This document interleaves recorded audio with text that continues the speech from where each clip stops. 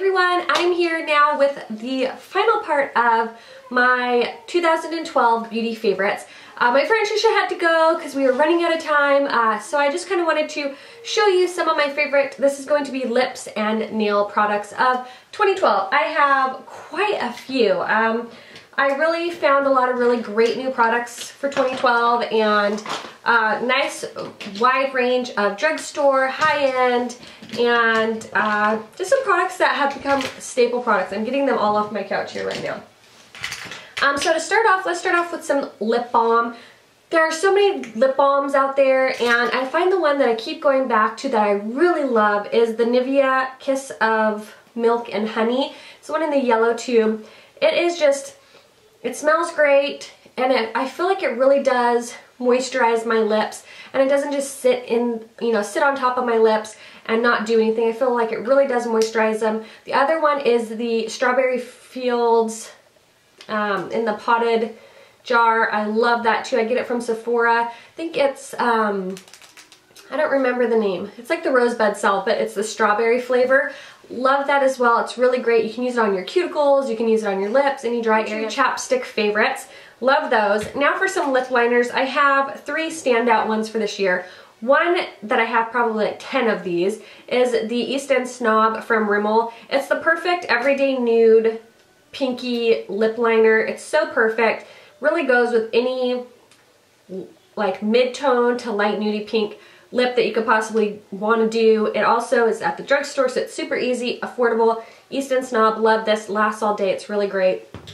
Another one, this is a newer find. This is the Too Faced Perfect Lips in um, Perfect Nude. And I wore this in an Instagram picture with uh, the Too Faced um, centerfold lipstick and a lot of people really loved it. It's just a really great mauve nude. It's not too brown, it's not too pink, it's just a really perfect nude. It's like my lip color. Um, I just love it. It just helps keep your lipstick from transferring or bleeding or feathering or anything like that. And then the other one, this is a newer one. This is MAC's Lip Liner in Beat. This is a perfect one for any bold lip. I'm wearing MAC's Rebel today. It's a perfect one for any of those kind of vampy berry pink lips. It's just amazing. I don't know how I didn't have this before, but Beat from MAC is really great.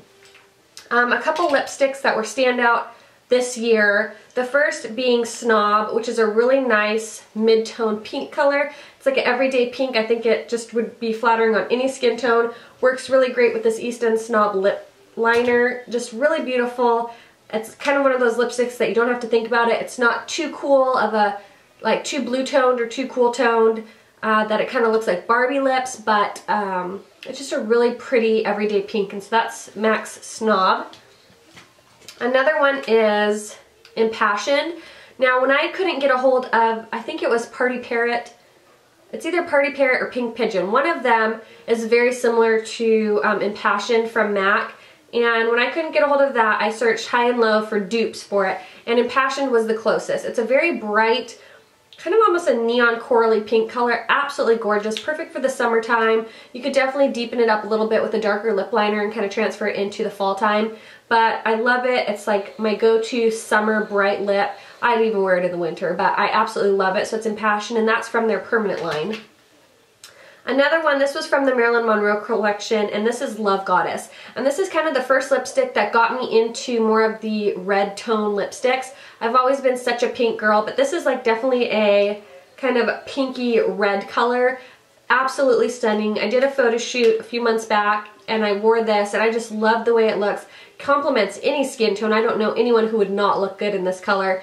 Absolutely beautiful. I'm working on trying to figure out what a good dupe for this is since I know this was limited edition. Uh, but I seriously, absolutely, hands down, love that color. Another one is Rebel, which is what I'm wearing now. This is my staple go-to fall and winter lipstick. I can't say enough great things about it. Looks scary in the tube, but it's the most perfect, beautiful berry lip. I think it looks stunning on the fairest of skin to dark skin and just one of those must-have fall lipsticks. I think everyone needs that for their uh, fall winter collection. And then Lickable. This is also from the Permanent Collection, and I had been eyeing this for so long, and I finally picked it up in uh, one of the recent holiday collections. And it's just a really pretty bright fuchsia color. It's right, right here. Love it. It's beautiful. Uh, it's a cooler toned pink, so your teeth look nice and white, and it's just really beautiful. I just, I can't say enough good things about Lickable. I think it's a gorgeous color. Uh, this one is from Kohl's. It's from their Flirt, I think the Flirt line, um, and it's number 19 Ace, and it's their high wattage. I found out about this through my friend Laura or Mrs. Lola Lynn, and again, this is another one that kind of got me into the more red toned lipsticks and it's beautiful. It looks gorgeous on the lips. Again, another color that looks good on fair to dark skin tones. Um, if you have a Kohl's near you, I highly recommend going and checking out um, number 19 Ace. I think you will absolutely love it. Another lipstick line that was new to me this year were these Tarte Glamazon long wearing lipsticks. I have three colors, Foxy, Playful, and Wild. Love them all. I think they're so beautiful. They are so long wearing. This one is Foxy. It's a nice bright, that would be Ethan. It's a nice bright pink. Also Playful is a really pretty plummy, like mid-tone plum color. And then Wild is their red, and this is so beautiful. I wore this with Cherry Lip Liner from MAC, and my lipstick stayed all day through eating, sleeping, taking a nap, whatever. Uh, drinking, it just lasts all day, and the color, color is very vivid. I find it doesn't bleed, it doesn't transfer. Once it's on there, it's on your lips. So, oh, it's Ethan again. So I highly recommend checking those out. Okay, so we have a special guest. He would love to talk about lip products with us. The drugstore had some really great lip products. Look, can you see? Had some great lip products. I love the Kissable Balm Stains. They're absolutely amazing. Uh, some of my favorite colors were um, Smitten, I like Smitten, I like also Love Sick, Sweetheart, and Cherish. Beautiful, last all day, feel great on the lips. Uh, the OCC lip tars, amazing. Uh, have a whole video on those, I'll link it down below. Strumpet is beautiful, Anime, and uh, Demure. All of these beautiful, last all day, you need just a tiny, tiny bit, and um, you're good to go. And then for lip gloss, I only have one standout lip gloss. It's these Buxom Big Healthy Lipsticks in uh, Creamsicle, White Russian, and Pink Lady. They're very opaque, beautiful on the lips. They have a nice minty taste and they're just really great and he's opening all the lipsticks. So for nail polishes, a couple base coats and top coats I've been loving. The Revlon Color Stay base coat, great base coat. Uh, really helps your nail polish stay on all day. Love that. Base coat, top coat is really great. I find that it really keeps my nail polish on all day. It's awesome. Um, some standout colors were, I got really into blues this year, which I never thought I would. Um, we have Essie's Boxer Shorts, which is a nice kind of lilac-y blue. Bikini So Teeny, which was a nice periwinkle. And then uh, the Sally Hansen Pacific Blue was really great.